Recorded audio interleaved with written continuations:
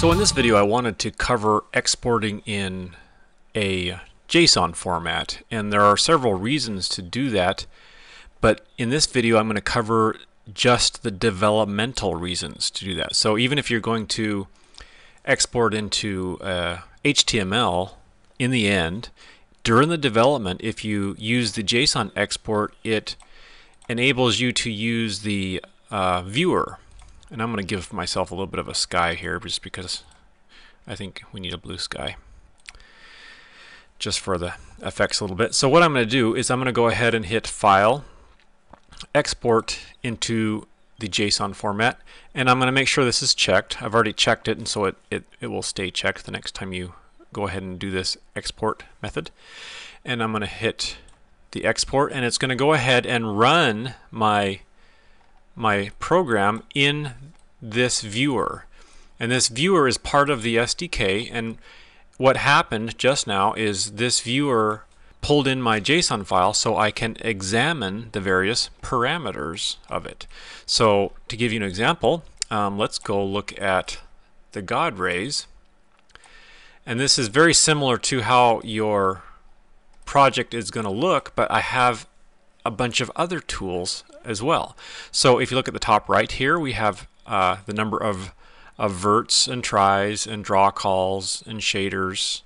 It tells you um, down on the bottom left, I can select one of these and it will actually uh, give you the the ID of that object that corresponds to its identity inside your source blend file.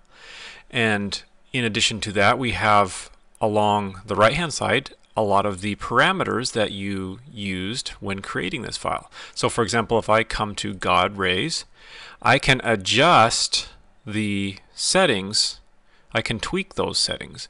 And this makes no permanent effect on your export, but what it does is allows you to go ahead and play around with it and get it where you want, and then this number will correspond to the number in your blend file. So once you get the number you like, you can you can copy paste it or you can just say, okay, well, I, I think that needs to be 1.5. And another example, let's look at the shadows. So, so I've got my shadows there. So if I come up here to the shadows, and I'm going to adjust the blur radius on those just to see what it looks like. And so I can determine from this So let's say I want it to be, you know, I want the blur radius to be 40. Um, and I can do that all without doing repeated exports to test a bunch of different settings. And let's check our lighting. So I can come and uh, change the energy of my lighting. And this has a a sort of a coarse energy that uses whole numbers and energy precise, which is using decimals. So if I wanted an energy of say 3.5 or something like that, I could come here and and just do a number of, of little tweaks until I get it where I want. And we've got frames per second it's rendering at. Um, you can you can change the quality. You know, in the in the player in this in the default player that you export in, there is the option of changing the quality, and you can see what it looks like here. Uh, we can have the option of pausing and so right now it, it won't do anything. It won't uh, the animations won't play and the camera controls are gone so I can resume that.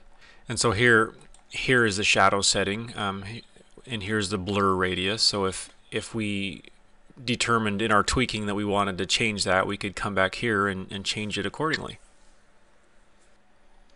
And here's an interesting setting down here. There's a stereo view option and I think this is the beginnings of you know a virtual reality that I think this will evolve into eventually.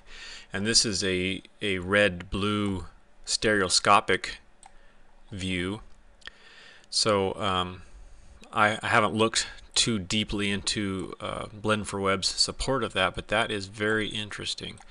So I can see I can see this developing further. I've messed around a little bit with the Oculus and some of the other uh, VR devices out there. And I think we're all eagerly awaiting the Microsoft HoloLens. And so I think uh, as those technologies develop, I would expect that we will see developments in Blend4Web as well.